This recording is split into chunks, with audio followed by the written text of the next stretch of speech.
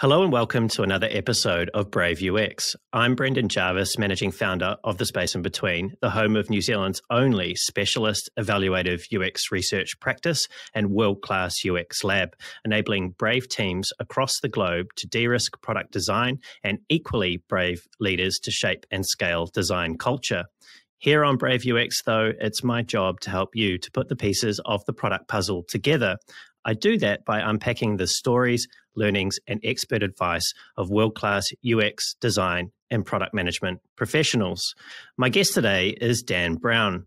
Dan is the co founder and principal of EightShapes, a user experience consultancy based in the Washington, D.C. area, whose clients have included large enterprises such as Capital One, 3M, and Sprint, as well as tech giants such as Google, eBay, and Cisco. Since 1994, Dan has focused on helping organizations to discover and define their digital products, understand their users better through research, and to shape the information architecture, content strategy, and interaction design of complex systems. He is a critical thinker and a generous contributor to the UX community, regularly sharing his thoughts on Medium and speaking at events such as UX New Zealand, UX Lisbon, Enterprise UX, the Interaction Conference, and Confab. Dan is the creator of Surviving Design Projects, a game that helps teams to improve their conf- conflict management skills, as well as the incredibly useful information architecture lenses, a deck of cards that helps designers to interrogate their IA in different ways.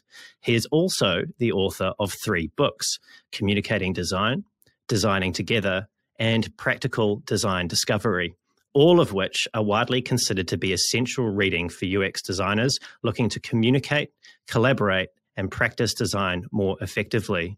Today, it's my great pleasure, you guessed it, to be speaking with Dan on Brave UX. Dan, welcome to the show. Thanks so much for having me. It's great to be here. It's great to have you here, Dan. And I have a a little bird that told me that you're a big fan of tabletop games. Yes, that is an was understatement. Correct. Yes. Yes. I understand, as I as I mentioned in your intro, you even created your own tabletop game, and this isn't really a world that I know very much about. I mean, when I was a kid, I did collect Magic cards, so I do have to put my hand up for that. I mean, okay. Magic the Gathering. Okay. And I also once played a game of Star Wars Rebellion that nearly ended up in my relationship with my brother-in-law ending in tears. But other wow. than that, yeah, it was pretty intense. Other than that, I'm a complete novice. Usually, when that happens to me, when someone's in tears, they're not an adult. Like it's it's usually one of my kids. But yeah, so I've played I've played Rebellion. That is a brutal, vicious game. So I can understand. It, it went over two days. Yes. Yeah. Oh, it, yeah. It took us two days. The final roll was on the floor, and there were knees, and there were fists in the air, and there was like almost yeah. a almost a scream that was let out. It was pretty intense. Yeah. yeah. What is it about tabletop games for you? Why do you love them so much? Oh, well, let's just divide the world of tabletop games into two uh, spheres. There are board games like we've been, and card games like we've been uh, talking about, right? These are interesting systems, right? And they're systems by through which we uh, follow rules to achieve an outcome. And as a designer, uh, I see myself as someone who designs uh, systems, not necessarily design systems, right? But as an information architect, someone who creates structures in which uh, information and users need to uh, inhabit the same space. And I see it as a, a real parallel uh, to the work or engaging in that way because it's similar to the work that I do. But the other sphere is uh, role playing games. Um, so obviously the most famous of these is Dungeons and Dragons, but there are many, many, many kinds of role playing games. Uh, and I've been playing RPGs since I was a kid. The hobby has really ballooned a lot since then. And there are all kinds of games now that kind of occupy that that space. And what I love about them is that unlike many board games, there is a collaborative, creative element to role playing games where we are working together to tell a story. If that isn't a good description of the design process, I don't know what is. And so I find a lot of value and parallels in that work uh, in my work as well as in playing those games. but I also just find them fun. I just love, I love the process of sitting down with usually my children uh, to kind of occupy this world that the game creates uh, for us uh, and to see what happens right? It's a it's a great way of uh, exercising the brain watching your children um, sort of do some problem solving uh, on the fly um, and and just kind of interact with someone in a in a structured way i guess so. And it seems you, you mentioned that um, you saw design as a as a way of working together to tell a story.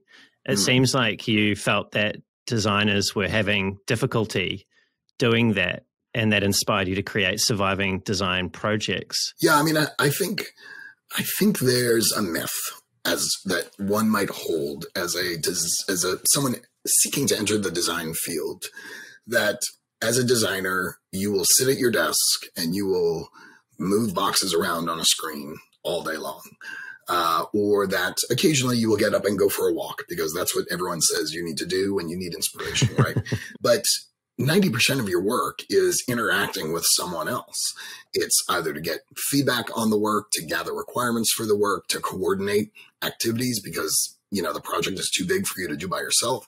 So there's any number of reasons why you're interacting with other people. And this is not something they teach in design school. So I created surviving design projects because the more projects I worked on, the more I realized that I was seeing the same kinds of situations over and over and over again. And that I had sort of built up a toolbox of things that I do to help navigate or mitigate uh, those uh, situations. And there wasn't a simple recipe, right? There isn't like, well, my client is getting distracted by shiny objects, so uh, I'm going to always bring out this tool, right? The tool, the what I call the patterns, really varied depending on myriad of circumstances. And so the best thing I could do was build up as many of those patterns as I could so I could evaluate what would be most appropriate given the situation, given the players involved, given what I was trying to achieve in this situation. Uh, and so surviving design projects came around where I was like, okay, well, I've got catalog of situations that I deal with on projects. And I've got this toolbox and my work often involves evaluating a situation to understand how do I navigate through this and selecting the right tool for that job. And by then I was already playing, it was like 2012. And by then I was already playing lots of card games and board games. Uh, and so I used uh, Apples to Apples as a really well known kind of party game. Uh, and I used that as the framework for the project or for the, for the game. Uh, so. So your personal and professional worlds kind of dovetailed together there. You know, it sounds like a lot of work to create a tabletop game like Surviving Design Projects. Was it more work or more difficult than you expected when you first started? Um, I don't remember. I don't think so. I, you know, I've been doing this for a long time, and you'd think that question would occur to me before I start these things. and I surround myself with very responsible, smart people. And I say to them things like, I'm going to design a card game. And they say to me, that's crazy. And I say, well, I'm going to do it anyway. So, I mean, everything is more work. When you want to do it well, right? Everything is more work than you think it's going to be. I think what I found surprising about that process was, and again, this is going to sound ridiculous, was how important testing was. So I got, at the time, I got some of my teammates from EightShapes to come over to my house and play the game a bunch. And I just watched them uh, play the game. I was literally usability testing the game. And I realized how important that process was because it provoked, as simple as the game is, it provoked some interesting changes, things that I thought about in terms of how to write the rules and how to run the game. You know, I ended up running the game a lot in workshops, so how I ran the game in workshops, things like that. So it just validated the idea that we need to do testing of our products, which again, as a user experience professional, is something I should know already. So, well, it's great to hear that you did a, did apply the uh, one of the techniques or plays that we all talk about in the field yeah. to the creation of your own game, and that it was was of value. Yes, you know, Dan, you you strike me, given what I know about you and what I've seen, that you're a bit of a master at externalizing your thinking. Now, I was curious about this trait that you have. You know, you, it's evident in, in the game that we were just talking about and what you like to do and some of the other things that you've done, including writing books. Did you write a journal or did you draw as a child? I was curious, where did this this need to externalize your thinking come from? That's a great question. I think there's some interesting directions that we could go there. I think I have two chronic illnesses and I was diagnosed with one when I was six and the other when I was 15. And when you're that young, you don't know why these things happen to you and you don't know a world without them, right? So these are very much a part of my identity. But in order to process them, I felt like I needed to express myself. And I didn't have good venues for doing that. But what I the way it expressed itself was sort of trying to explain how the world works or, you know, whatever sort of model I had concocted as a kid for how people have a soul or how people uh, experience each other or, and I would diagram these things uh, out. Um, and I see that now as a person, uh, a middle-aged man, I see this as a means by which I was trying to make sense of the complicated things that were happening to me. I don't like having these conditions, but at the same time, they've given me tools that I can use to maybe do a little tiny bit of good, if not in the world, then in our industry. And that is to sort of think is to the the idea of self-reflection comes very naturally to me. Uh, self-awareness comes very naturally to me because of these things that i was dealing with uh, throughout my life. And so by being self-reflective i can then sort of i i think what i try and do is then translate the things that i'm thinking about to make them tangible or meaningful uh, to other folks Mm. And and the direct sort of output or, or product or outcomes from your own self reflection and need to make sense of the world is obviously led to a wonderful career in a field that really embraces those skills that you've got. But you've also you're trying to help other people in design to have the same practice of self reflection.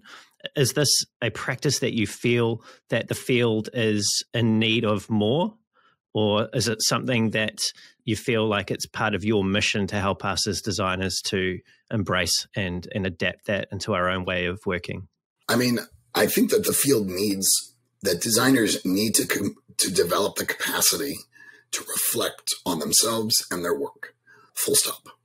Whether I think there's ever enough of that is irrelevant, right? Because there's always the capacity, uh, there's always an, a need to reflect more there's always a need to examine our work more. In the 90s, we thought we were doing a pretty good job. And here we are 20 years later, realizing just how screwed up the world is because of some of the design decisions that we've been making over the years. So one of the things I think that again, another myth might be that people think there's an end to self reflection, but it is a practice that you will need for the rest of your design career. And the sooner you cultivate it, I think the more successful you can be as a designer.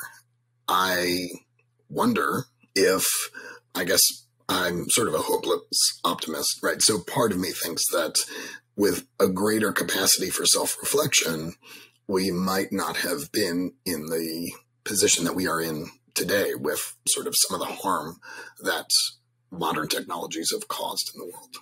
And there's there's definitely a, a, a, big rabbit hole we could go down there. Before we, we do go down that, I wanted to bring you back to your childhood. You mentioned these conditions that you were diagnosed with, and this is where your self reflection and your need to externalize your thinking came from. Yeah. If you put yourself back in that teen, those teenage years of yours where you were using self reflection and externalization of thinking. What was it that practice gave you personally at that time of your life? I think there's a need to put complicated things into words that uh, other people can find accessible. By going through that process, we take thoughts in our heads that are complex, right? That are sort of inherently complex. And we try and break them down and make them accessible for other people. I'm experiencing, you know, X, Y, and Z. How do I articulate that in a way that someone will understand it, maybe empathize a little bit with me, but also maybe help me too, right? Uh, and by by uh, creating these frameworks, creating these vocabularies that are accessible to other uh, people, we can create a shared experience.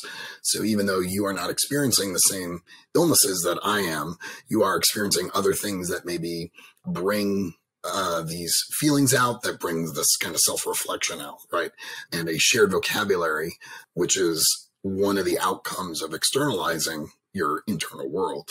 That shared vocabulary builds that bridge between us. I mean, both of my parents are teachers too. And so I can't, I can't discount that, that I grew up in a home that prioritized education. And I mean, uh, I'm in a profession that neither of them could really, neither of my folks could have imagined. And what I see is a direct line between the work that I do today and the work that they were doing when I was a kid as educators, as storytellers, as people who are responsible for helping other folks internalize uh, certain ideas. And so I think that part of that externalization comes from that instinct as well that I got from from that particular uh, aspect of my childhood. I get the sense that your house must have had quite a few books available uh, you would think well, they're not big readers. My dad, mm. not a big reader. so my dad is a, a, film professor. So we watched mm. a lot of weird movies when I was a kid. Thinking about what you said earlier about the state of big technology and some of the decisions that were made in the 90s, let's come back to that. You've been doing this for a wee while now. By my count, it's about 25 or 26 years. Yeah. I wanted to get a sense from you, looking back on that time in the field, what have been some of the things that we have forgotten as a field that we discovered earlier on that we that we're we've lost in our practice and that we need to be reminded of? Oh, that's an interesting uh, perspective. I'm not sure I would have taken that perspective, but I mean, the thing that I I see, uh, or or the thing that I don't see. One of the things I don't see uh, is information architecture, right? I, I will show up on design teams and they've got incredibly talented designers, like folks who can, you know, produce a set of mockups in Figma, work collaboratively, work effectively with developers, like all the things that we prize uh, today. But you know the the navigation will just be this hodgepodge of of menu items, and I'm like, why did why? Why does that get the short shift there? And so i think there is i think we have long discounted the value of deep thinking about structural problems. Were we better at it back then? I don't know this field was smaller, so maybe it was easier to sort of for for we information architects to be louder uh, about it. The IA conference, formerly the IA summit, has always been just one of my favorite events. Um, but even that has become, I think, out of necessity. This is not a knock, but um, not strictly about information architecture anymore. And so we see fewer and fewer people um, engaged in that the complexity around underlying structures, and which is a shame because the products are getting complicated and their reach is getting further. And so there is an increased need uh, for these things. Yeah, that's interesting. And I asked you about what we're not doing that we were doing earlier, and you've obviously raised IA as an example of something that's fallen by the wayside. You know, the ability to really think about the structural components of what it is that we're creating. But I, I, am drawing, going to draw a line here between what I believe you were touching on when you first raised this topic, which was some of the errant decision making that right. has led to some of the abominations that we've ended up creating and the social side effects of those. And we don't need to name names unless you want to. But that seems to me to be somewhat as a result of not being uh, critical enough in our thinking about some of those structural things that we were putting in place and what they might lead to, which could be easy to look back on and, and say, oh, it's evident that because we didn't do A, we ended up with B. What What are your thoughts on the role of IA and that deep critical thinking and how that may or may not have helped to shape the world in a different way if we'd been more deliberate in its practice?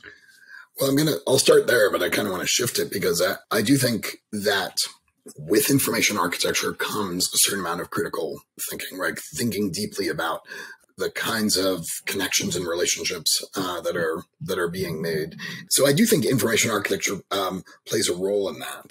But I think what's missing is something that has never ever been present, which is this.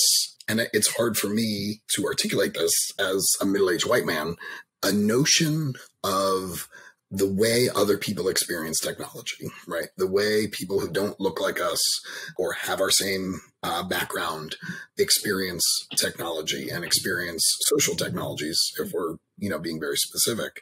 And that, as long as we've been using the E word, empathy, I think uh, has, it's always been lip service. And it is not something that I think has ever really been sufficiently present I love seeing some of the dialogue that's happening today. It is hard and it is challenging and it is, it can be painful. But for me, that helps me recognize that there is an opportunity for growth, at least in me, to recognize what's been missing from my process all along or what's what is that? What has challenged you? What have you realized that's been missing?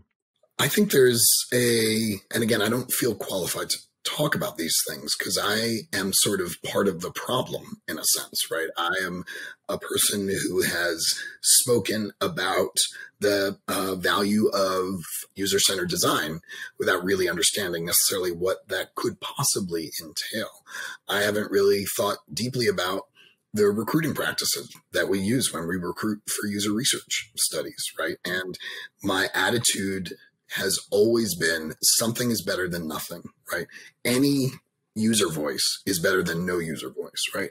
Any feedback that I get on my design is better than no feedback on my design. But I think even now I am coming to understand that any is not good enough, right? Any is any feedback or any input or any outcome of a discovery process is still not good enough to fully capture and create a foundation for building meaningful experiences until we've spoken to an sufficient not, a, not even a sufficient again i don't have the right words but a a better representation of the range of people who will make use of our products yeah, this is a, a huge topic, and and like you, I'm not really that qualified to to speak on it. But I do wonder what you've observed as a consulting UXer from the internal teams that you've worked with. You know, you talked to, earlier on about creating uh, surviving design, the game, as a result of pattern matching the problems that you saw right. inherent with the engagements that you'd had as a consulting UXer. So if we if we think about that and then we apply this back to this bigger topic of diversity inclusion that we're touching on here, you know, what are the positive signs or gaps, maybe the negative things that you're you're still seeing internal teams wrestle with to try and do the best they can to to to uh, address this issue? Yeah, I mean, I can still see homogenous design teams and that is just depressing uh, to me. I don't know if it's depressing because I grew up in Manhattan, you know, where I was sort of always surrounded by people who were very different from me. Or most of my working life, I've lived in the Washington, D.C. area, which is not perfect, but it is a very diverse city with lots going on here. And so I always feel very uncomfortable in very homogenous areas. And even earlier this year, I felt like I was uh, on a client where um, there was there was some lip service paid uh, to diversity and inclusion, but it was not adequately represented. The teams that I feel like operate best are those with a broad inclusion of varying folks at varying levels in the uh, organization as well. So folks, you know, who are work, working designers and folks who are at the management level. And the other red flag, honestly, that I see is siloed design teams, like design teams that if this is not just about sort of uh, race and ethnicity and uh, gender and uh, sexuality and all these things. It's literally just do you have different perspectives of people participating in the design process uh, because they're the ones who have to build it or they're the ones who are going to have to use it or whatever it is. Uh, and I just feel like I still show up in design teams that are heavily siloed from other areas of the organization.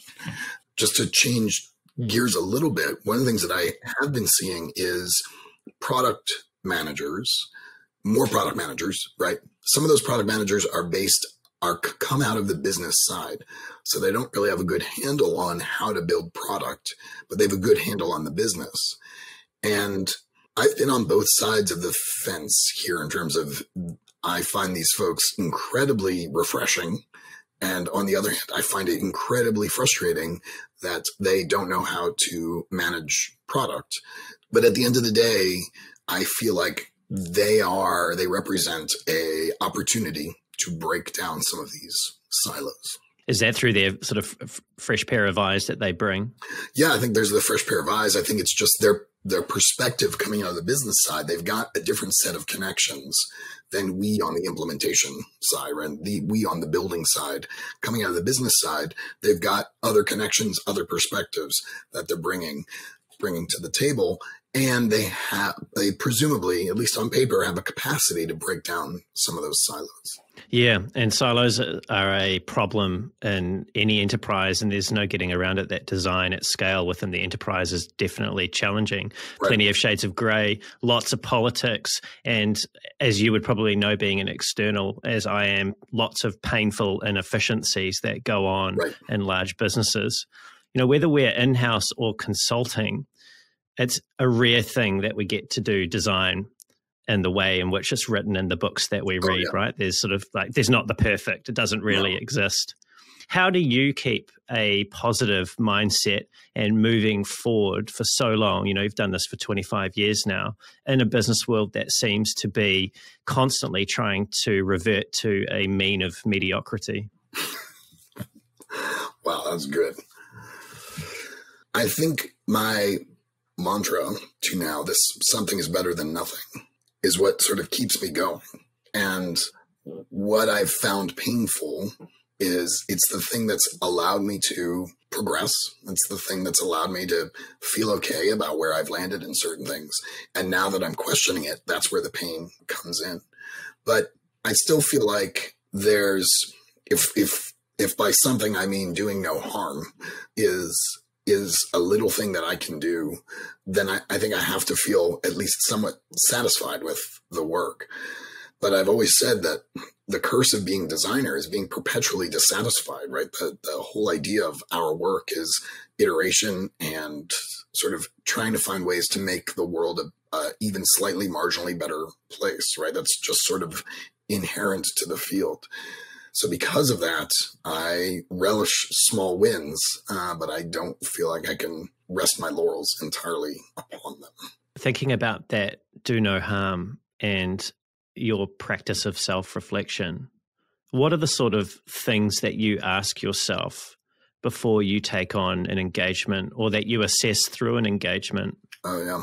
About the potential for harm that your work could be contributing to? What does that conversation look like? That's a great question. I mean, clearly the nature of the type of client is, you know, the industry uh, that they're in is really top of mind uh, for us. So no, no nuclear weapons manufacturers then. um, I'm in the DC area, so I can't say one way or the other whether that's true or not. um, All right.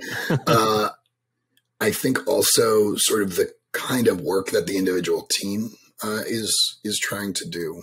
And so even in a large financial client, whatever one's misgivings are about the financial industry, maybe there's some bit of good uh, that, that can be done. And I think also I am trying to assess to what extent I will have, I will be satisfied with this work. That is to say, it will be personally rewarding or professionally rewarding to me insofar as you know the things that i look for are ability to make some kind of change right ability to have some kind of impact because if i am not feeling that then i don't feel like i will be able to do uh, any good you know, as I listen to myself say these things out loud, um, which is a skill that one I think needs to cultivate if one is doing self reflection. You know, there's that small part of me that's listening to me say these things out loud, and it's still sort of these things are still laced threaded with an incredible amount of uh, privilege, right? Being able to pick and choose my work, looking at a company and being able to me, little me, assess whether they can or should or will do good in the world. Who am I to really understand what harm a company may or may not do? It's these are the kinds of things that I feel like I will be wrestling with for the rest of my career. Well, who are you not to, though, given the state of the world and and also just thinking about this, it's reminded me of a conversation that I had with Peter Morville and also with Uday Gajendar. And both of the, these gentlemen touched on this notion that design itself is actually a political act. Right. How do you feel about that? Oh yeah, I just tweeted the other day um, at Andy Budd that I that all design is political. Not that he was disagreeing with that, but he was sort of making a statement, and I sort of built up upon that statement. If a designer doesn't understand that, then I don't think they really understand design, right? I think design is not design can sometimes feel like making a lot of compromises, but there's still a voice that comes out of the product that we're designing. That that product still has still expresses an opinion, is still assertive about what it believes and what it wants. And maybe I'm anthropomorphizing products too much, but come on. That's what they do. They express an opinion. Uh, and if they didn't, then we wouldn't see them ever change. But even just watching Amazon's Amazon.com sort of change over time, even watching Twitter's change over time, you can see it trying to express itself differently. And those expressions are laced with opinion, right? Have something to say uh, about about the world and how what they think about you, uh, the user, when it engages in a dialogue with you. Hmm, hundred percent. I mean, it's they're the result of a thousand or potentially a million different small decisions that have been made. And I get the sense that even if designers aren't aware of it, or even if they're actively abstaining from thinking about their work as having a political impact in the world through the things that they are creating, that's still in, in itself is a political statement. Right. Abstaining is a political statement. No doubt. Yes. Let's come back to the practice of dealing with you know what I think you described as a, a, series of compromises that you have to make in, in in terms of getting things done in design. What battles have you found that you needed to fight, and which battles have you found over time and through experience that you're willing to let go to maintain that sort of bigger picture that you're working to? That's a hard question for me to answer, um, but I will be um, transparent. And it's hard because I can't think of a design or a, a sort of a design related battle that I've ever been super passionate about. What I get passionate about more than design, I think, than the outcomes of design is the process of design. The outcomes, even though we've just had this long conversation about how problematic they can be if you make irresponsible decisions, my passion has always been are we going about this the right way. Because again, the hopeless optimist in me says if we use, if we engage the right process, the outcomes, if not perfect, will be understandable. Uh, and so the hills that I choose to die on are not about a particular design decision, but are about how we go about it. And I don't know what has changed in me over time, but my attitude towards those process conversations have been less about, I'm going to make an argument and I intend to win it, and more, I'm going to just help you understand what these decisions will mean. So let's just do a simple one, right? If we choose uh, to do a recruit and we don't invite uh, and, we, and, we, sort of aren't deliberate about who we invite to that recruit, uh, then we're going to face these risks, right? We're going to get a very skewed set of feedback from that. And ultimately, maybe it's not up to me who we recruit, how we do the recruit, but I do think it is my responsibility to communicate what the risks are, document what the risks are, so that the people who are responsible for making that decision are working with a complete set of information or as complete that I can I can make it for them. I get the sense that you feel like our reliance on processes like the double diamond, we've become overly do- dogmatic in that, and that that's led to some intellectual laziness about some of the critical things that you've just touched on there about who do we recruit and what the impact of those decisions may be by just referring back to our way of working as we've always done it. Yeah, I mean, uh, I do a lot of cooking and I do most of my cooking without a recipe. And and I think, well, I haven't been fired yet. So that's my kids will complain about my cooking and I'm like, friends, there's only one person at this table I need to impress, and her name is Sarah. And if she's happy, I don't care what the rest of you think. Um, but uh, that's my wife. And that kind of cooking is all about course correction, is all about I'm picturing the goal, I know where I want to end up, and then imagining the process you need to get there and as things go wrong, oh, the pan was too hot, or oops, I put too much butter in, or whatever it is, like course correcting to make sure that you can still arrive at an approximate destination.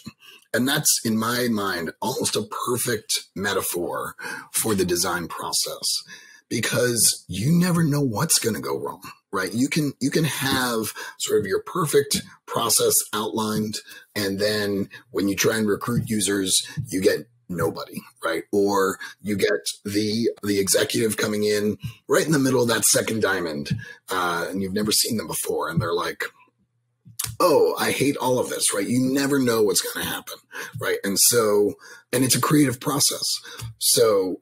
I like thinking about the design process not in terms of any particular prescribed recipe, but in terms of how am I going to uh, at any given moment, what decisions do I need to make and what's the right decision given the information that I have? Yeah, and I understand that you've framed this up in terms of mindsets and that there are several mindsets as creative people, designers would benefit from holding. You've suggested that there are uh, two two main categories of these, and I'd love to dive into collaborative mindsets with you first, sure. which you've fr- you've framed as adaptive, collective, and assertive. That's I want to start with adaptive. Yeah. Well, well, you did say it. Yeah. well, so, did, so my notes tell me that you did, and I did watch you talk about it. So you. yes. so let's start with adaptive. This one's about changing what you're doing if what you're doing isn't working. And that's exactly what you've just described. It's sort of the conditions have changed. So, what do I then do? What decisions do I then make? Right. Now, that is something that when we're talking about that, that sounds really easy to do. And I think people would understand that intellectually. If something's not working, stop doing it. But we as humans suffer from a number of different biases, one of which is I think this is a bias, sunk cost fallacy, yeah. which is basically like we've spent so much time walking down this let's road. Just, let's just keep going. Yep. Let's just keep going, regardless yep. of what the new information is. And there's also this political nature of the organization where there's a bit of losing face and just how safe is it for me to go, you know what? I was wrong, or things have changed, and now we need a bunch more budget to go down this different road. Yep how can we as designers become more brave in recognizing when things have changed and and to make better decisions even though it might be really difficult? Arrived at multiple answers to that question. I will start with the last one i thought of which is i think or i aspire to always ask myself why am i doing what i'm doing right now? And if i don't have a good answer for that question then i have to change course. Why am I churning out all of these wireframes, even though we just got some feedback that you know they they want to go in a different direction? Or why why am I churning out all of these? Why am I running this usability test, even though I don't really have goals uh, for what I want to get out of this? Why am I doing these things? Because like this is a certain amount of reaction to bootcamp kind of mentality that that we're seeing a lot in UX these days where rote processes are taught and i don't i don't know how much critical thinking is comes along with that uh, with those processes but as soon as I'm able to ask myself why and give myself an honest answer, I feel more confident in then going, you know what, this is not working. Let's let's try something else. So I think that's that's at least one sort of mechanism that we can use to help us course correct, which is not something I use in cooking. So the metaphor kind of falls apart there, but here we are. That's right. It's not about being perfect. Right. No. Something else. One of the other mindsets was this this notion of um, the collective, and that's definitely a conventional wisdom that design is a team sport. It's better done with others. Are there any exceptions to that though in design? You know, are there any areas of design where having an individual mindset actually leads to better outcomes? Uh, no, uh, but I I would add some nuance, which is only that you don't have to do everything with someone else. Right. There are, are some moments in which sometimes you just need to sit and think about something. And I, have just uh, wrapped up interviewing a lot of information architects. And this is one of the lines of questioning I had, which was, okay, we know we should collaborate with people, but I sometimes you just need to sit and think about it. What does that look like? And it was really interesting to me that very few people could answer that question, that it was always about bringing in someone else. And I mean, we can dive into that, but, uh, but I know for myself, sometimes I just need to sit and look at the problem or sit and dwell on the problem. And no doubt I will draw someone else in to validate, or no doubt I will draw someone else in to bounce something off of. Sometimes I think my role as a design lead is just to sit there and let someone else talk about their work out loud because you hear it differently when you say it out loud. You you experience your own work differently when you do it out loud which again is something you could do by yourself, but is better when you're talking to someone uh, about it. So I do think there is there are moments in the design process that are somewhat solitary, but we can't just leave it there, right? That's that's not the be all and end all. Yeah, it's not. It sort of runs counter to the common culture at the moment of meetings and workshops and busy work. You know, where do we when do we get that time and how do we make that time to actually do as Dan suggested and, and as you've suggested and take that um, take that space, you know? Yeah, yeah sit, sit, and think. It's such a luxury.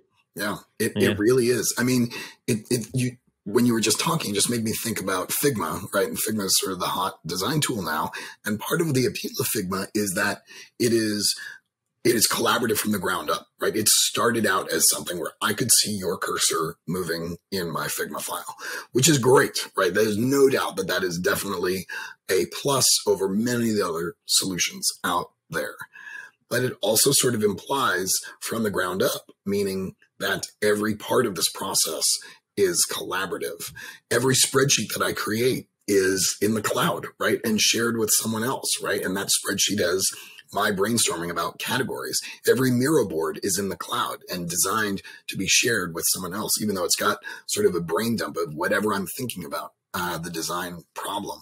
I'm not saying we should create walls in those spaces. I think that would make me a little bit of a hypocrite, but the mindset of collectiveness is built in. And I think we don't, because of that, maybe we don't give ourselves permission to, to turn that off and just say, let me sit and think for a second so I can process what I'm dealing with, either intellectually, like I'm trying to solve a problem, or emotionally. That was a really hard user interview, and I need to just sit and deal with it for a second before I move on to my next one. Yeah, there's definitely some tension there. I can't remember the company, and there's probably there's a few of them, but it's one of the big ones. It might be Amazon, where you're not actually allowed to turn up to a meeting unless you've sat with the materials that have been prepared right. for that meeting and formed your own point of view to discuss at the meeting. I think that's that recognition that, you know, coming in uh, half prepared and not really having had the time to think about what might be critical decisions that you're making on your own actually do the the collective a a disservice. So, yeah, it's hmm. I I mean I find that a little bit frustrating too, because I feel like that can be arbitrary. Uh, is is smacks a bit of gatekeeping, right? Of well, if you didn't have the time to sit and read this twenty page report, then I don't really care what your opinion is, and that's baloney, right? Every I still value other people's perspectives, and especially in this day and age, I forgive you for not doing the homework. Like I haven't done the homework all like I I don't do the homework 100% of the time, but I still want to have a voice. I still want to be able to contribute to the conversation. And if, God forbid, my opinion is ill informed, well, I can just get in line between the 7 billion other people on this planet who have uh, uninformed opinions about things. Like it's just the nature of humanity to sometimes show up, have an opinion about something, but give us space to talk about it, right? Give us space to consider a topic critically. These are not simple topics. Sometimes I do my best thinking here on a podcast when I have to be spontaneous and just think out loud, right? That that is not this, these are not ideas that would have come up had I just turned to medium and started writing something, right? My my brain works differently.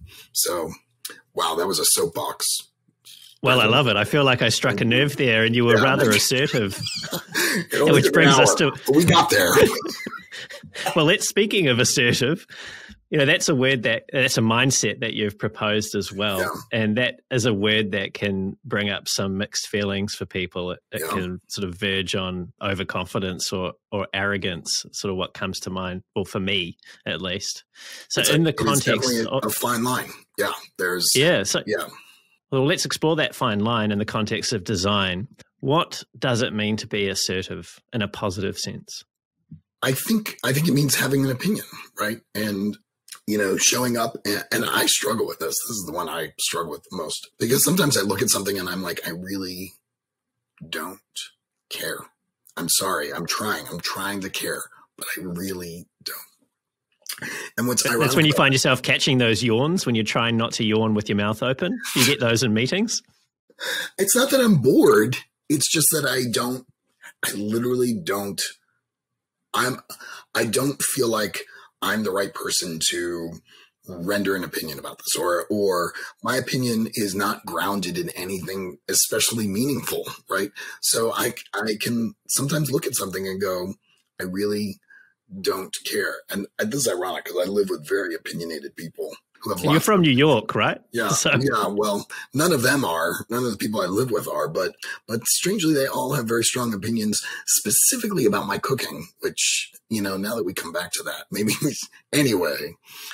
But I feel like the, you know where this one came from is I will work with designers who I think are very talented and and just really good at what they do. And then they get into a conversation and they become order takers. And my heart breaks a little bit for those folks because I'm like, part of the process is being assertive, not just about what you think is the right direction, but asking questions, like not taking anything for granted. I think if I could find a better word, then maybe a better word for this is whatever is encapsulated in not taking anything for granted, not taking anything at face value, so that when you get critique, when you get someone kind of pounding on your design, your instinct should not be, no, this it's my way or the highway, or no, uh, uh, sure, I'll do whatever you tell me to do. It's, well, help me understand why you think that's the case, or help me understand why you think this is broken, right? Being assertive, it means in this case, not simply just accepting what someone is telling you, but trying to dig underneath it to understand it better. And that really pairs well with this creative mindset, uh, the second category, where the first creative mindset was curious. Yeah. And it's fair to say if you're a designer and you're not curious, you're probably not going to be a very good designer. But a lot of people, designers of which are not immune to this, have this fear of not having the right answer. And there's a lot of negative baggage that we carry. Hmm. My suspicion is that comes from a lot of our formal education that we've had and the way in which we've learnt to learn. You're an expert and you've had 25 years of experience doing what you're doing. You've written books about it. You've spoken all around the world on information architecture and UX. Surely, after all that time, there's not much you haven't seen by now. Oh, that's not true. That was a total setup, by the way. Yeah, I mean, I thank you for that, but it was a little on the nose. No, I mean, I, I think what what I get intrigued about is not design process or I'm I, so first of all I'm inherently curious about uh, domains. Like uh, one of my big clients uh, deals with licensing architects in the US it is as niche as you can get. And I have been engaged with that client for 10 years and I am learning something new every day with them. And I love it. I love how whatever the implicate, you know, economic and political implications of, the, of it are, however you, however you might feel about licensing professionals, I am downright fascinated by all the esoteric stuff to the point where one of my teammates who is doing research on this will message me little obscure bits of trivia that she finds because she knows I find it so entertaining and engaging. So so domains. So it's become it's become your muse. The domain has become your muse. Yeah, I mean, it's like I'm just genuinely curious about how do people do work in this? Like how how do how does X work? How does pharmaceutical industry work? Like I'm just genuinely curious about that. I am also genuinely curious about the perspectives that people bring to the table. So I love working with other designers and I like watching them solve problems in the way, and this is not meant to be patronizing, in the way I like watching my kids play board games, right? In the way I like watching a mind that I care about, right? Because I have affection for people I work with. I care about those folks and I'm genuinely interested in watching them wrestle with a problem. I find that really uh, engages my curiosity. People are fascinating. Yes, that's what my therapist says. So that's what I think too. yeah. Humans Just are, for the record, I'm not Dan's therapist, in case anyone was wondering. Though, I mean, you could start charging me, and I would feel. I mean, I feel like we're being very productive. Like it's been a good session.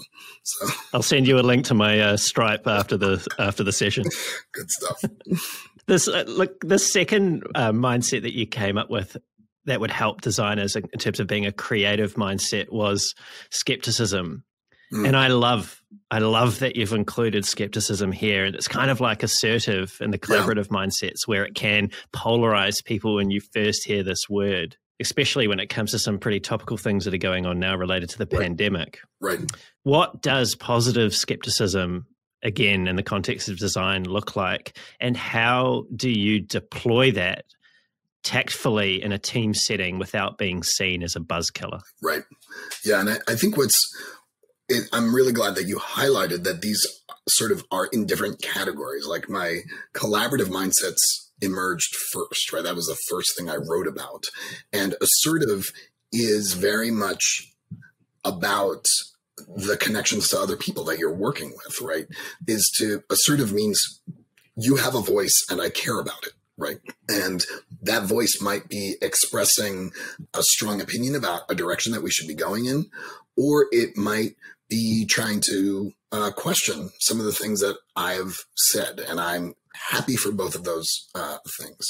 Skepticism is a different framing, but maybe of a similar type thing where skepticism is part of those creative mindsets, as you've said. And I think as an, as a ingredient of creativity, we can't accept anything at face value as well that both of those that that not accepting things at face value manifest themselves differently in the collaborative realm and in the creative realm but are but are are equally uh, important in both for me skepticism I tend to frame, I'm not a confrontational person. So I tend to frame my skepticism as, well, let's do an experiment. Or I tend to frame my skepticism as, well, let me just play devil's advocate here. Or sometimes when I'm working with uh, some designers, I'll say, okay, now how would you critique your own work? What do you feel like is missing from this work? And they'll start to identify things that they feel like problems they, uh, aspects of the problem that they haven't solved yet. And that gives me a foundation that I can then uh, build on. Mm, so you, you use either like a design play, like a, like a, an interview or a, or a test to externalize um, some feedback on a particular piece of work or a line of questioning where you're trying to get the other person into a mindset of being reflective about what it is that they've created rather than going at it directly yourself. Right. right. Yeah, those are those are some excellent tactics uh, for the people that are listening to okay. to deploy and to think about. This brings us to the last creative mindset, which mm. is humility. You've said, and I'm going to paraphrase here, that experience is often used as a mask for someone who has stopped learning. And that was what I was uh, shame, sh- shamefully goading you into earlier um, in my question about your experience and what else could you possibly have to to learn. Can you be seen as an expert, though, as an, an authority, while still being open with others that you don't know everything, particularly in high stakes situations like executives? Yes. I don't know why, but yes. I mean, that's my. I never, I try never to feel like I must have the answer because I um, know that that is a recipe for humiliation that it is it will end up being more embarrassing if i try to make up an answer and more arrogant in a sense uh, if i try and make up an answer uh, than simply say you know what? I don't know but i know how i'm going to find out. I don't know the answer to that but we should we need to look into that and i appreciate you bringing it up. Or i really want to hear what other people have to say. Humility is even when you have decades of experience acknowledging the value of every voice in the room. And as I'm trying to learn voices that are not in the room, but humility is it's understanding that even if this person didn't do the homework, they've got something potentially meaningful and interesting to say, and they're not going to be penalized if they don't. They may be corrected. They may be, we may sort of discuss what why their ideas don't have merit, but humility is acknowledging that there must be there that in order for design to succeed, there must be uh, a level foundation, regardless of what we bring to the table initially. It's business that asks us. It's business that asks us to that imposes decision makers and design needs to thrive in a business world, I guess. So it's business that says this person, because of their title, has been imbued with the power uh, to make a, a final decision. But my role in that is to provide that person with the best information that I can. And if that sometimes means I don't have the information, I need to go find it, then I am very comfortable saying I don't know. Just coming back to that notion of realizing that everybody's voice is is able to be heard even if you do have the most experience on a topic it sounded like what you were saying is that while they might not necessarily be right you leave the space open to the possibility that something that that they might say might lead you to a different conclusion or change or shift your perspective or 100%. teach you something yes yeah yeah that even if even if i mean i don't know how your brain works but when you're talking I'm listening, I'm trying to listen to what you're saying, but I'm also sort of making other kinds of connections. And so all of that, that dialogue and the, the sort of, I don't know, fodder of that dialogue is, is the, is what nurtures, is what uh, nurtures design. Uh, as a process. And so I, I, it's, it's, um, the nutrition, right, of, of design. So, um, that kind of conversation for everything we said about solitary work, ultimately there's getting all of those voices, as many of them as we can, and make sense of them, I think is what leads to better products. So, speaking of getting more voices and leading to better products, you've recently started a video series and it's also a podcast called A Lens a Day mm. Conversations about Information Architecture. Yes. And literally, I was super impressed by this because I know how much work goes into just doing an episode a week. You've you've been releasing literally an episode a day, which is just yes. phenomenal. And this is based on your set of cards that you right. created, your information architecture lenses. So I have, Why? I have a lot of things that Brendan does not have, which is uh, a, a deck of prompts that I can use and no desire to do as much research as you have done in this interview. so I basically told them, hey, I'm just going to ask you a bunch of questions. My dad is an interviewer uh, by trade. Like he was a film professor, but what he was really, really known for was was was interviewing people who make movies, and he was he is so good at it. Um, and so that's my my interest in interviewing. I think comes from watching him as a as a kid, uh, and he would he would be uh, appalled that I don't do any prep for those interviews because most of my childhood was watching him like do a tremendous amount of research uh, in advance of interviewing folks. But yeah, I I kept them short. I uh, asked the same basic set of questions. I'm pretty good at thinking on my feet, so they would say something and I would try and respond uh, to that. And I always had a lens that I could come to to kind of prompt a certain amount of, of conversation. So well, I'm taking notes. Maybe I need to simplify my process. Oh, you are doing you are doing fantastic. I, uh, it's it's been a joy to have these conversations, given the amount of research that you've done. I mean, this is this just just to put the lenses aside for a second. Mm. When I talk about experience and how I'm sad that the industry as a whole does not value experience as much as it values, say, youth or novelty. It's because what comes with experience is the amount of research that you are drawing upon, right? I can, I can cook a meal without looking at a recipe because I've cooked literally hundreds of meals. Uh, and during the pandemic, it's basically all I've done is just every, there's a meal I got to go cook for the family.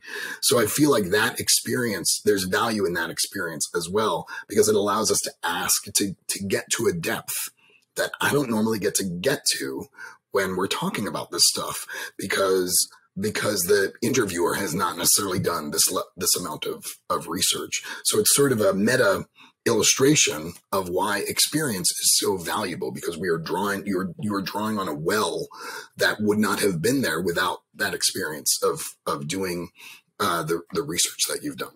So thank you. You talked in. Oh, you're most welcome. I, I thoroughly enjoyed researching for today, Dan. You're drawing on something that comes to mind from your talk at UX Australia last year, where you explored questions and depth, and we're not going to have time to go into that today oh, in any detail. Can we do which is a shame. Yeah, I would love to. Yeah. Let's do another one.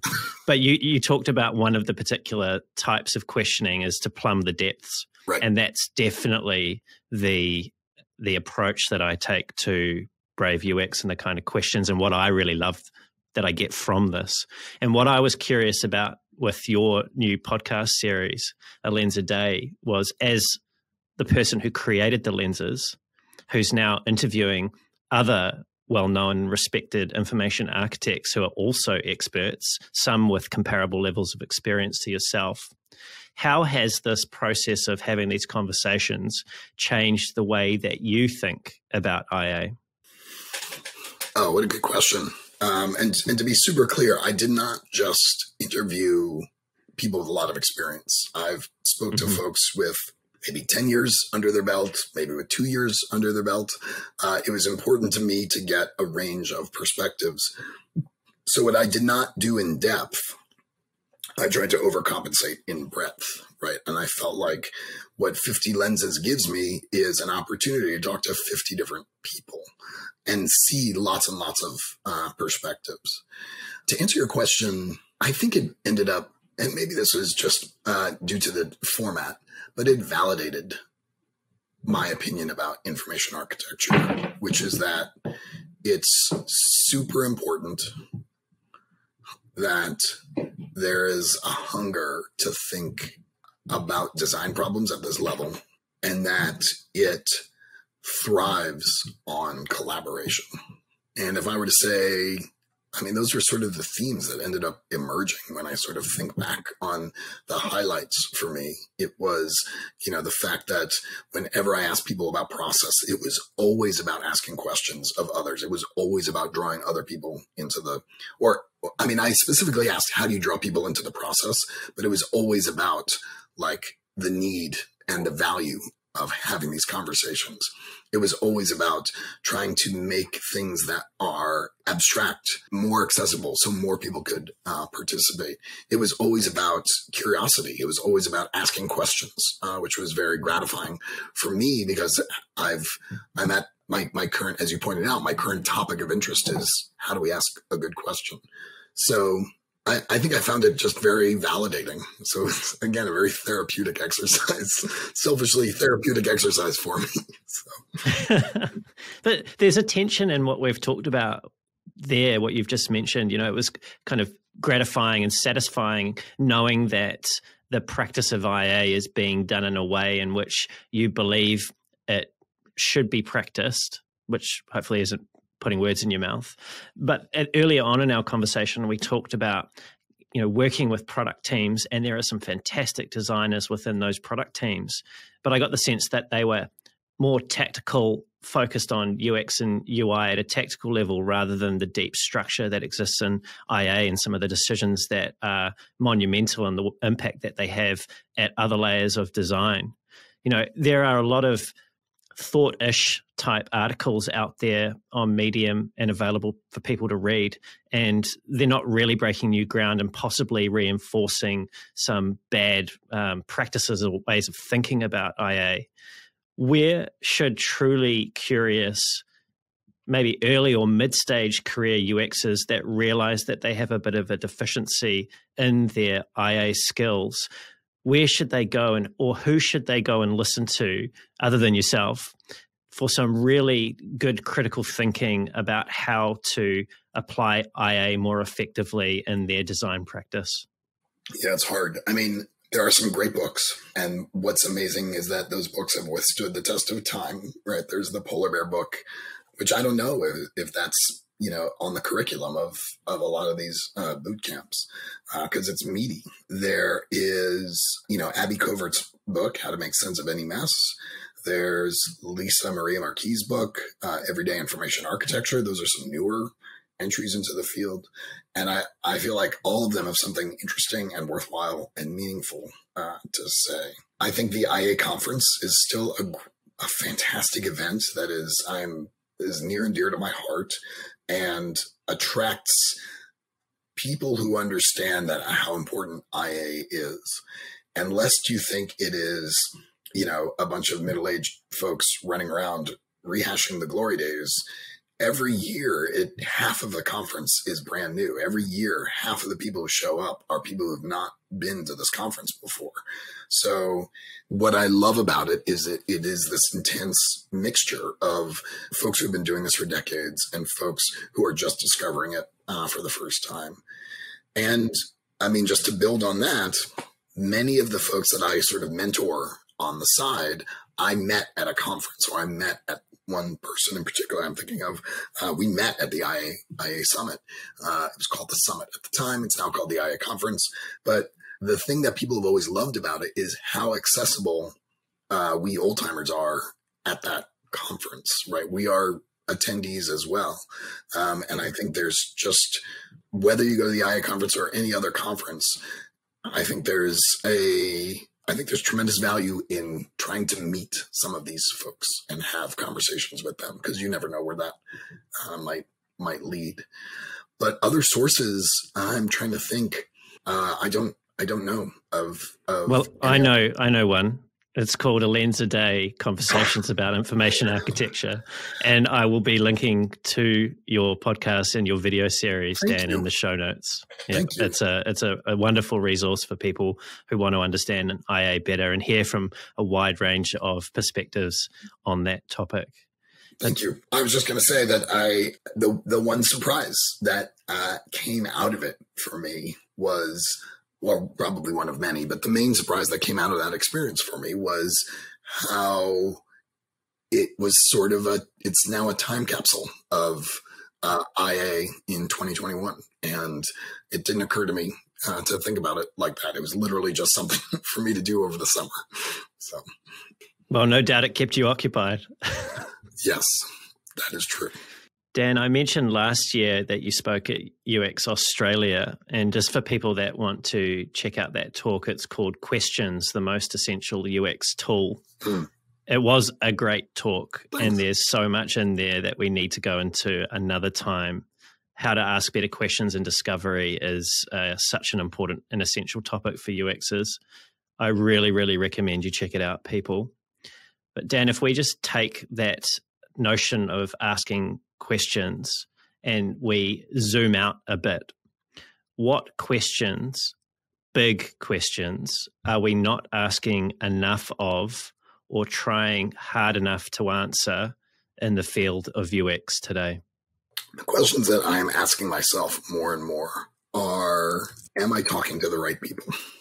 And I guess I was sort of always asking that question, but I uh, feel like I'm asking it even more uh, now because if we just extend the metaphor of a lens, I feel like the lenses that I've been looking through have been clouded. And it is time for me to sort of look more honestly about who I'm talking to, whether it's uh, research during the discovery process, whether it's a usability test, whether it's stakeholders, right, and who's uh, who's involved. This comes from following the work of uh, Vivianne Castillo and uh, Alba. Uh, I'm going to get her last name wrong. Forgive me. Uh, Villamil, I think. I saw Alba speak uh, at UXTC. She was fantastic, and Vivianne has been doing just some amazing work on trying to lift up uh, the the overall practice. So I follow the two of them on Twitter, and and just watching every tweet is um, everything they publish, everything that they write is helps me open my eyes a, a little bit, a little bit more. I think uh, we also need to be asking ourselves about structure and what sits below this screen, what sits below you know this interaction? What are how are all the pieces uh, connected uh, to each other? How are the pieces uh, that are even not within my product connected to my product? Um, i think that is an extension of inclusivity is to sort of think about a more think about our products in that more holistic way. So those are the two things that are top of mind as you ask me that question yeah, definitely big things for us as a community to reflect on and have a think about in our own time individually. Dan, this has been a great conversation. It's certainly given me plenty to reflect on and to think about, as I'm sure it has done for our audience as well. Thank you for so generously sharing your stories and insights today, and for all the great contribution that you've made to the UX community over the past 25 or so years. Brendan, it was my great pleasure uh, chatting with you, and uh, I really appreciate the time as well. Thank you. You're most welcome. Dan, if people want to find out more about you, about EightShapes, about a lens a day, what's the best way for them to do that? Uh, well, they can go to eightshapes.com to learn about uh, EightShapes. And uh, you can follow IA Lenses on Twitter. And I've been linking uh, every episode uh, there. Uh, if you go to anchor.fm slash a dash lens dash a dash day, a lens a day, you can see the podcast version of a lens a day. Perfect. Thanks, Dan. And to everyone who's tuned in, it's been great having you here as well and listen to this wonderful conversation.